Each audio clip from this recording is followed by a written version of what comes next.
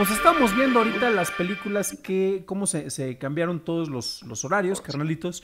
Eh, los horarios y las fechas, porque pues, por causas de fuerza mayor, se tuvieron que posponer películas. Creo que la que todo mundo este, sabía que se iba a posponer y a que nadie le sorprendió fue la de los nuevos mutantes, ¿no? Que ni siquiera. Ya, a esa ya ni le pusieron fecha. Esa fue de que, ¿sabes qué? Se pospone a cuando el mercado esté factible. Sin embargo, aquí tenemos unas interesantes. Eh, vámonos con las del 2020. Estoy compartiendo pantalla para los que nos estén viendo por, aprovechando la tecnología.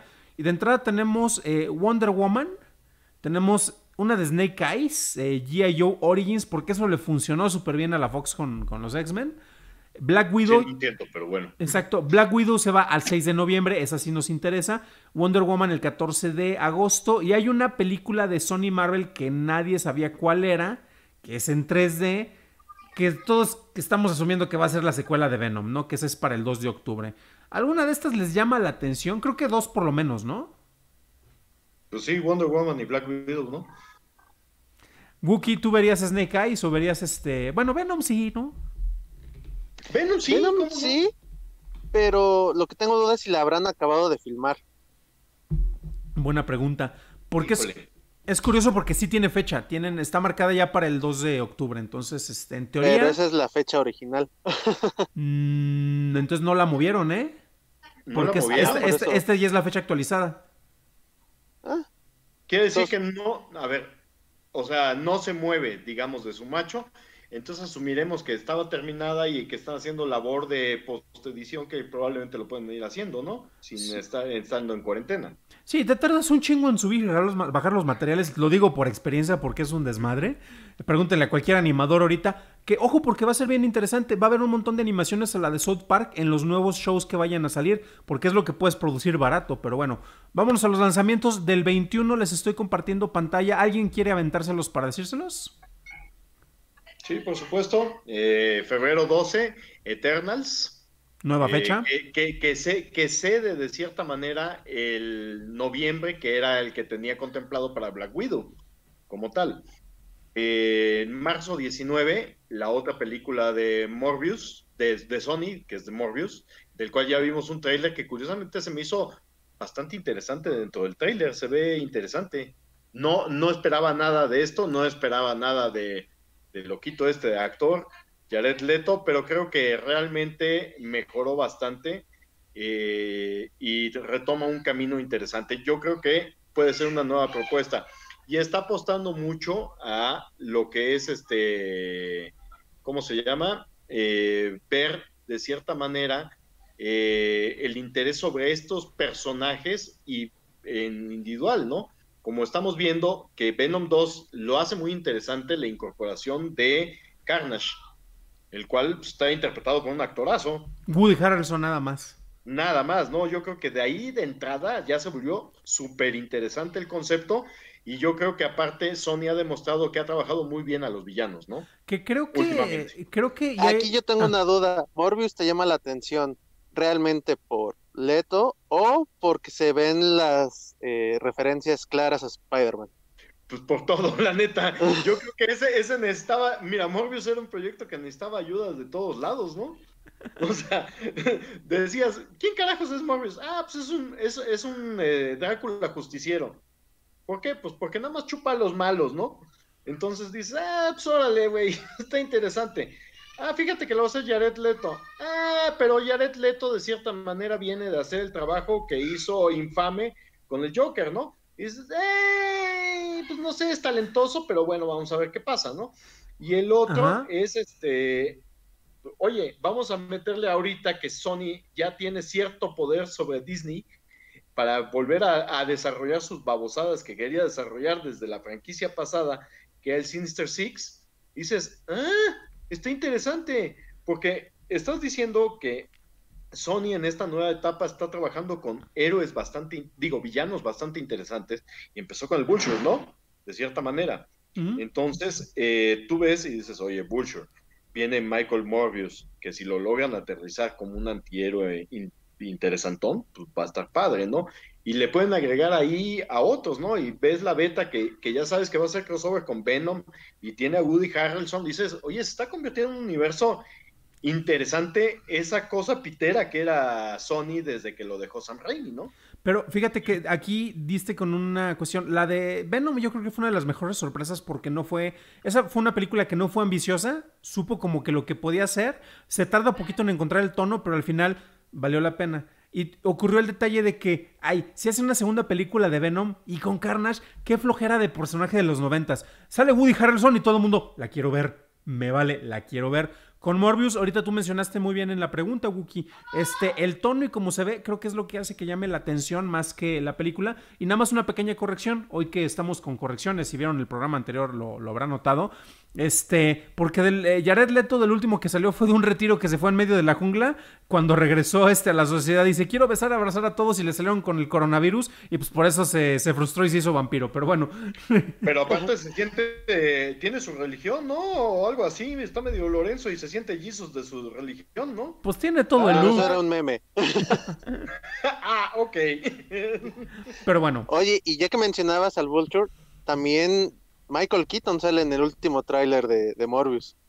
Claro, eso es lo que yo decía que lo hizo más interesante, porque dices, ah, caray, te vengo a hablar de la iniciativa, ¿has escuchado los seis siniestros? Y dices, "Ey, pues, late, ¿no? Vengo por un Efe- Six. ¿Y qué pasaría si en ese momento te reclutas a Woody Harrelson también? No sé, o sea, Te no vengo a hablar de la iniciativa. Exactamente. No, Entonces puedes por te qué vengo a hablar de la iniciativa Los que nos fuimos de Batman. Batman No More en vez de Batman Beyond, ¿no? Pero Ajá. bueno, continuando con las fechas de. Fíjate que aquí, tenemos, continuando carnal. con la lista, Échale, síguele, síguele. Shang-Chi, la leyenda de los 10 anillos, el cual ese título siempre nos remite a que podemos ver que van a ligar al mandarín. O sea, no sé, a menos de que nos vuelvan a engañar, ¿no? Ahora sí Este, veremos al mandarín. con Iron Man 2. Yo creo que sí. ¿no? Es la manera de el apology que va a pedir Marvel, de cierta manera. Y sabemos muy bien que eh, siempre está relacionado con el mandarín, eh, Shang-Chi. Ojo, porque esa es Pueden nueva fecha. retomar lo del cortometraje, ¿no? Yo creo que irían por ahí, efectivamente. Bueno, tenemos también las fechas de Batman. Ojo, porque aquí están marcadas. Nueva fecha, Eternals, eh, que ya vimos que se movió. Shang-Chi se tiene que mover porque es la que iba a estar en febrero. Se pasa hasta mayo. Batman para junio 25. Probablemente la muevan, no sabemos. Tienen más de un año para ver qué onda. Eh, una eh, película de Spider-Man secuela, probablemente que no tiene nombre, este, de Spider-Man para el 16 de, ju- de julio, no la han movido. Suicide Squad, eh, que sabemos que esa ya estuvo en producción y sacaron a Will Smith para poner a otro negro, pero este es este, más, más imponente, pero con coronavirus precisamente. Se pospone una película sin título de Sony de Marvel. Se especulaba que podía ser la de este. ¿Cómo se llamaban estos personajes? La de Black Cat y Silver Sable. No, esa se canceló. No sabemos cuál pueda ser esta que vayan a presentar. Pero también se pospone hasta nuevo aviso porque el mercado no está para, para estas cuestiones. Se retrasa Doctor Strange eh, in, in the Multiverse of Madness, que curiosamente creo que en noviembre le queda mejor fecha por la cercanía con el Día de Muertos. Este, esa es la nueva fecha. Marvel retrasó básicamente todas sus películas y cerramos con la de Black Adam para diciembre 22, que creo que tú nos decías, Wookie, que te llamaba la atención, ¿no? Sí, por creo que fue de lo primero que se anunció de esta nueva versión de, de películas de DC y es de la que menos se ha trabajado. Exacto, entonces pues este ya ya ya Pero veremos. tiene la roca, ¿no? Que eso es lo interesante, ¿no? Exacto, yo creo que eso es y La Roca no es todavía heavy hitter de taquilla, pero creo que es lo que a final de cuentas puede darle un levantón. Oye, pero entonces, ¿qué, qué vemos ahí? Decías que habías visto la fecha de Shazam por ahí, ¿no? Shazam 2. Shazam eh, está pero hasta el 2022, que esas fechas, si Wookie, no sé si tú nos puedes echar la mano para decirnos qué se estrena en el 2022. Ah, no le muevas tanto. Ahí va, ahí va, ahí va. Ahí, va. 18. Ahí está. Acuérdate que él está leyendo en teléfono chiquito. eh, y ya se me frició la imagen. Ah, ahí está. Febrero 18, Thor, Love and Thunder, que esta sí es nueva fecha. Eh, no sé cuál sea. Ah, bueno, la de Shazam, nada más viene. Pero ya, no ¿ya viste la fecha. Ok, Shazam es para el primero de abril. A ver si no nos quieren hacer un April Fools, ¿eh? Eh, es lo que yo decía, oye, ¿y curiosamente, yo, ¿ustedes creen, como apuesta, sale Shazam en la película de Black Adam? Aunque sea en un cameo. Sí, al final, como Superman, yo creo, Superman y Shazam van a salir al final de Black Adam. No, no me engañes con Superman, porque ese Superman no sé quién fue. Traía el traje. Del cuello para abajo. Traía su S. Bueno. Y, traía, y por lo menos se robó del vestuario el uniforme oficial, ¿no? Exactamente. Pero bueno, otros de los estrenos que están por ahí, ¿sí, me echas la mano? Claro que sí, abril 8, eh, la secuela de Spider-Man Into the Spider-Verse, que es la segunda parte, bueno, no es la segunda parte, digamos, es la segunda emisión de la, eh, esta apuesta animada que tuvo Sony, que tan buen funcionamiento le dio en lo que son el reconocimiento público y los premios, no tanto en la taquilla. Aunque sabemos que este mismo reconocimiento yo creo que les va a acarrear una mucho mejor taquilla que la que tuvo en su primera instancia. Esperemos. Después de eso tenemos para el 6 de mayo secuela de Black Panther. Sigue en mayo 6 la secuela de Black Panther. Exactamente. Eh, luego en mayo 22, esta sí dices, güey, qué pex. Eh, DC Super Pets. ¿Qué podemos esperar de eso, carnalitos? Ah, una película animada bien divertida como la de Scooby-Doo con este Blue Falcon y este eh, Dynamite. Es correcto, que esa se toca de madre, ¿no? ¿Para cuándo quedó eso, más o menos? Ah, es buena pregunta. A ver, este. Paso a esta pantalla para no compartir en lo que busco. Porque esa sí ya está, está prácticamente ya estaba. Ya estaba en los trailers, ¿no? O sea, quiere decir que ya está lista para lanzar al mercado. Y yo creo que está muy interesante. Y en julio 1, yo creo que es una de las películas que más morbo ha despertado a través de de toda la, de la historia de lo del Snyderverse, que es la película de Flash. Ah, ah, ah. el, principio, la amalgama o el final de esa era, ¿no? Y esta es otra de esas películas que no sabemos. No sé si ya encontraste algo. Eh, no, pero ya este, lo dejamos para el rato, ¿no? Este, porque creo que se va, esa va a salir directamente en video digital. Sí, no, esa sí la vamos a ver. Este. Saludos a Patita de Perro, que de hecho nos preguntaba acerca de ese detalle. Y como no es Patreon, no puede ver este video, pero ya lo verá cuando sea Patreon, ¿no? Este. La de Flash. Efectivamente. Honestamente, quién sabe si vaya a salir. Yo le auguro la misma fecha de estreno que la de los New Mutants. No es por ser mala onda. Yo creo que sí sale, pero con otro. Otro equipo, otro actor. Y otro director, y sí, no, de a tiro, porque están cambiando todo, ¿no? Yo, yo creo que sí sale con el nombre de, Batman 2. Exactamente, ¿no? y sin Flash, no. Y será conocido como Robin. bueno. tenemos. Fíjate que a mí me sorprende mucho. Perdón, carnalitos. Dale, dale. Digo, ahorita ibas a llegar. Este. Aquaman, le estoy viendo hasta diciembre 16 del 2022. Ojo. ¿No se les hace raro verla tan lejos? Sí. Esa y Black Panther se me hacen muy lejanas. Pero ojo porque también aquí Siento que fueron éxitos. Sí, pero hay una película que no está anunciada acá y que podría ser en este sentido por donde va la el lado que más que la iguana, de Trench, que recordemos que esa ya estaba en producción, que es no secuela, pero es este paralela, llamémosle de esta manera, del universo de Aquaman. Porque hay muchas personas que se quejaron de que, ay, me le metiste demasiada película. Sí, viste siete películas en una.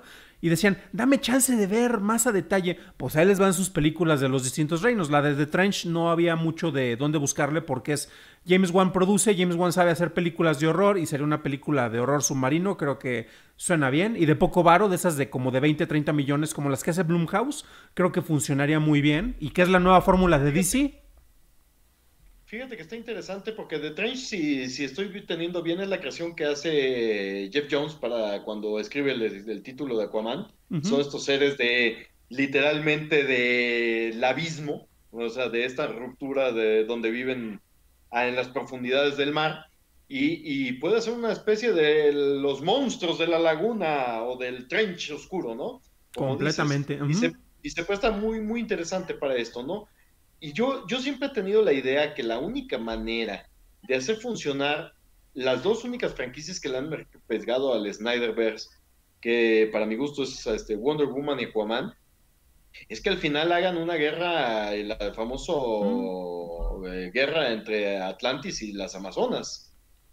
Yo creo que ese podría ser el, último después de terminar sus trilogías y el tratar de amalgamar para hacer una superproducción. No sé, digo, yo lo, yo lo vería por ahí. Ahora, las fechas se me hacen muy lejanas, insisto. O sea, Aquaman hasta el 22, igual que Black Panther, como dice muy bien mi carnalito. Ambas se me hacen que para el éxito que tuvieron y todo, era más probable verlos más cercano. Evidentemente no sé qué planes tenga Marvel eh, para retrasar Black Panther y tiene que ver seguramente con los dos personajes principales que está debatiéndose quién dirige dependiendo de los deals que tengan, ¿no? Estamos viendo Spider-Man, que no sabemos qué va a hacer, sabemos que el chavito está muy joven y hay Spider-Man para rato, por la edad no va a haber problema. Y el otro es este la Capitana Marvel, que realmente es esa relación de amor y odio que tienen que explorar para ver si realmente no fue un fenómeno único de Avengers su taquilla y ella puede soportar el peso de llevar una franquicia, porque evidentemente tiende hacia eso para anexar ahora a las mujeres mucho al universo de los superhéroes, pero si no lo logra va a tener que, que mover sus piezas. Y Black Panther, quieras que no era la pieza lógica para liderar los Avengers una vez salido el Big Three, ¿no? Pero es que ahí también tenemos la, el aspecto de discusión. Honestamente, ¿tú qué preferirías ver? ¿Captain Marvel 2 o Black Panther 2? Black Panther 2. Por mucho creo, ¿no? Wakanda Forever. Wakanda Forever. no, es, y es que aparte, eh, esa, tú hablabas ahorita de Aquaman y de Wonder Woman. Eh, una cosa que no tiene Capitán Marvel, además de tener una actriz competente a cargo, no, es muy buena actriz, pero ahí honestamente la tabla Larsen ya saben que, que nomás no, no es carismática en ese papel en particular y en otros más que ha hecho, pero bueno. Pero por ejemplo. Los comerciales de Nissan. pero por ejemplo, en el caso de, del afrofuturismo que hay en, en Wakanda dices, quiero explorar más de las distintas tribus, que curiosamente es, muy como Aquaman, porque ves las distintas tribus africanas que están dentro de Wakanda, este, dices, ahí tienes de dónde rascarle y se vería muy interesante. Nada más, ahora... Eh, de, hecho, de hecho, perdón, este, el mismo Man Ape eh, quiere ser el villano. El mismo actor dijo, oye, es que yo sé que es un villano interesante. Y aparte esta dualidad que tendría otra vez para ser un personaje, ese es el problema, ¿no? No volverse a ripear, porque es un personaje que sabías que el que interpretó extraordinariamente. Michael B. Jordan. Michael B. Jordan, gracias, carnalito, pues se me había ido el nombre, efectivamente. Eh, ese es el problema, ¿no? No volver a ripear y hacer algo similar. Porque si, si quieres hacer la historia de Man Ape y todo, ya lo hicieron con Michael B. Jordan. Y es, sí, un traje muy difícil de llenar. ¿Qué pasó, Wookie? Que con Iron Man le salió. Digo, hicieron tres películas así. Dos, dos y media, dos y media. Dos y media, acuérdate que el Señor de los Anillos no jaló como debía. y bueno. Y el otro es un trailer glorificado. Eh, a mí la tercera me sigue gustando mucho de Iron Man, pero bueno. A mí también. Yo, yo no tengo problema, y eso que soy Marvelita, pero neta sí entendí el, tema de desviar, me gustó la intriga política, cómo le cambian, y pues al fin y al cabo son pantalla, y espero verlo bien hecho porque el mandarín es un villano interesante, aunque no deja ser muajaja. Pero bueno, es como Ra's al pueden, puede ser quien sea, este es nada más un título, recordemos, ¿no? Y a Nola no le recriminaron eso. Pero bueno, ya, este, nada más para terminar, carnalitos, y aquí, este, Wookie, una pregunta directamente para ti, porque aquí ya vimos en, las películas anunciadas para el 2022 eh, que Marvel va a empezar su nuevo mega evento, eh, y en el 7 de octubre tenemos un Marvel Studios Film. El 17 de febrero del 2023 tenemos un Untitled Marvel Studios Film. El 5 de mayo tenemos el Untitled Marvel Studios Film. El 28 de julio un Untitled Marvel Studios Film. Y el 3 de noviembre un Untitled Marvel Studios Film. ¿Qué onda con esta saga de 5 películas, Wookie? ¿Cuál de esas te emociona más? Mira, como son 5, yo me iría por la tercera. Porque es o donde ya se puso realmente interesante o donde ya te diste cuenta que las dos que siguen ya ni vale la pena. Aparte ya empiezan a hacer fecha de blockbuster casi, ¿no? Mayo. Es que son precisamente, eh, ya está marcando territorio, que ojo, porque esto lo platicamos este, con Jaime Rosales cuando nos ha acompañado en, Destripando, eh, porque esa de la marcadera de fechas, Disney lo puede hacer porque todos se basan en ellos, porque sabes que no le puedes competir. Es como tratar de lanzar una película con Keanu Reeves de super asesino y que compita con otra película de Keanu Reeves donde es este, el salvador del futuro, ¿no? Ay, no y ahora sé. sí pero trae barba de Mesías. Ajá, y creo que lo iban a hacer, ¿no? Pero bueno, Casi. que creo que eh, según las apuestas es que ya se apestó ese estreno doble, ¿no? Es lo más probable. Sí, es casi seguro que Warner por lo menos mueve. Ojo, porque son de distintos estudios y ahí es el que parpadee primero y te tendrías que poner. El estudio más pequeño es el que tiene que, que moverla, ¿no? Pero bueno. Eh, con esto prácticamente terminamos con la actualización de fechas en este Behind the Mix que tenemos para acá. Este, nada más, y ahora sí, para, para terminar, carnalitos, primero con Zico y luego con el Wookiee, ¿cuál de estas que todas que vimos es la que en realidad les dan ganas de ver? Yo insisto, eh, mira, 2020 me voy a ver muy barra libre, pero pues yo siempre quiero ver este a Nuevos mutantes. Nueve Mutantes sí me interesa, güey, pero la neta Ya es morbo, no sé ¿no? qué pensar. Pero mira, ahí dice postpone, entonces creo que la veremos cuando salga Flash. Entonces, este, la verdad a mí me interesa Black Widow porque Scarlett Johansson, ¿por qué no? Así de sencillo. Eh, del 2021 me llama mucho la atención de Batman. Mm. No, no deja de ser una película que trae una nueva franquicia como eh, la reinterpretación de un personaje que es Batman, siempre tiene que tener los reflectores puestos. Así de sencillo, ¿eh? Y conste, se me antoja mucho Suicide Squad porque no deja de ser la versión de este James Gunn. Curiosamente, viendo en estas fechas, ¿no ven algo que falta? Mm. Guardians of the Galaxy 3. Ah, eh, pero es que esa está retrasada de Infinitum. O sea, no, te- no tenía ni siquiera fecha de lanzamiento. Saben que se va a hacer cuando termine de Suicide Squad. Probablemente empiecen filmaciones a, finales del 2021 si tiene el guion. Por eso ni siquiera está... Sabes que a James Gunn le van a decir que sí, pero no hay ni fecha. Podría ser una de las United, eh, Marvel Studios Film. Sí, porque el guion creo que él ya había dicho que ya lo tenía, pero que con todo lo, lo que está pasando, pues ahorita ya ni para qué ponerle fechas y. si no ha empezado nada más que el puro guion. Efectivamente, tienes toda la razón. Y 2022, la neta, Taita Waititi siempre, eh, siempre está más interesante. A muchos no les gustó la odian, este, porque está muy guajaja. A mí al contrario se me hace muy interesante y ver el concepto de cómo van a mezclar. Yo creo que va a haber mucho de lo que propuso Jason Aaron en todo esto. Entonces va a estar interesante ver a Jane Foster regresando al universo Marvel y aparte, evidentemente, eh, yo creo que van a mezclar todo el Longworthy de, eh, de Chris Hemsworth, ¿no? De Thor. Es- Entonces, la neta, me llama la atención bastante. Y un dato de trivia, porque ya ven que regresa Natalie Portman, la cual salió de la franquicia de Thor porque se había peleado con Marvel. No sabíamos exactamente por qué se había peleado con ellos. Se especula que ella había salido cuando Patty Jenkins dijo que ya no iba a estar dirigiendo The Dark World. Y ahora que ya, este... Es especulación porque honestamente las fechas no machan. Pero pues llega Taika Waititi, ¿cómo le vas a decir que no? O sea, honestamente es este muy cotorro. Entonces no es necesariamente porque esté esperando a Patty Jenkins. Pero bueno, vamos contigo, Wookie. ¿Cuáles son las que por año que te interesan más? Eh, coincido eh, con de que este año es Black Widow. A mí realmente, yo, ojalá que no, pero creo que Wonder Woman va a tronar porque la, la temática no se me hace... Amo los 80, pero creo que parece mezcla de Stranger Things con con este con más videos ochenteros, porque está el centro comercial igualito al, al de la última temporada. Y la verdad, curiosamente, Wonder Woman triunfa en parte por Snyder, y creo que en esta sí ya no tiene nada que ver, así que yo no le, yo honestamente no tengo como que la gran película de, de Patty Jenkins que me diga sí tiene el, el talento para, para esto. O sea, ¿sí Pues crees no. que le falta un Snyder para regular a Patty Jenkins? Así.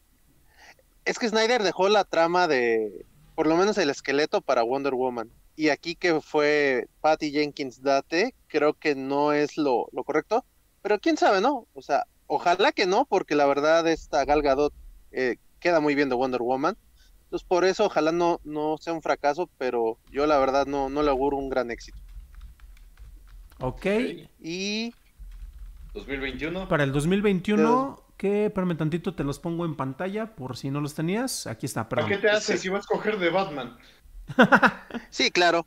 Y, y de Suicide Squad me llama la atención, pero eso es por, por Peter Capaldi, a ver de, de qué sale, ¿no? No manches, ¿cómo que Peter Capaldi? Arriba el cochiloco, güey. Mira, el cochiloco y Doctor Juan en una sola película, no lo había pensado. Mm. Va a ser el Doctor Who y el Doctor Juan. Esos son crossovers. El Doctor Juan. Y yo sí le tengo muchas ganas eh, en 22 a Spider-Man Into the Spider-Verse. Sí. Quiero ver por, do- por, así que por dónde expanden el multiverso. Y, y de la de las de Marvel sin título, yo creo que esa ya debe ser alguna de con X-Men. Y eso sería lo que me llamaría Sí. la atención. Oigan, ¿ustedes creen que salgan? Pregunta. ¿Antes X-Men o antes Fantastic Four? X-Men. Yo también. Que yo honestamente preferiría que empezaran con Fantastic Four porque ya descansó más tiempo, pero eh, es Disney. O sea, es- eh, mira, les funcionó con Spider-Man, aunque fue coproducción, es de que si algo nos demostró la de Homecoming, eh, que fue coproducción nuevamente Spider-Man, eh, perdón, Sony con Marvel, es que no importa que la película eh, o el personaje esté cansado por mal- mal- malas interpretaciones previas, pueden hacerla funcionar en Disney. Fíjate que aquí hay un rumor que vale la pena hacer notar y que sería la única manera de que apareciera ante Fantastic Four. Y sería que, se, que fuera cierto que dicen las estos cuates que especulan con todo, que tienen fuentes y tienen este ¿Destripando? comunicadores internos y todo. Sí, efectivamente, Rick Johnston, ¿no? Efectivamente, y a veces el Majin Bey. Pero eh, que dicen que va a salir, que es una posibilidad fuerte que salga Doctor Doom en Black Panther. El cual Ah, ya. cierta lógica, cierta lógica que le devolviera el favor que le hizo en su momento a Black Panther en los cómics Fantastic Four. Entonces, eh, si pasa eso, realmente las fechas macharían para que el primer Untitled sería Fantastic Four. Podría ser. Viéndolo así, viéndolo así. Pero antes de eso, recordemos que había un proyecto que queríamos ver que era el de Doctor Doom, precisamente con el, nuestro showrunner favorito de Legion.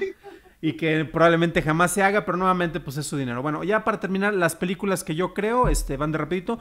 Para el 2020, este, pues Black Widow creo que coincidimos todos. Para el 2021, este, yo les voy a dar la contraria a ustedes. Si se llega a confirmar un rumor que se estuvo mencionando, me interesa más ver a Sam Raimi regresando al universo Marvel con del Doctor Ah. Strange.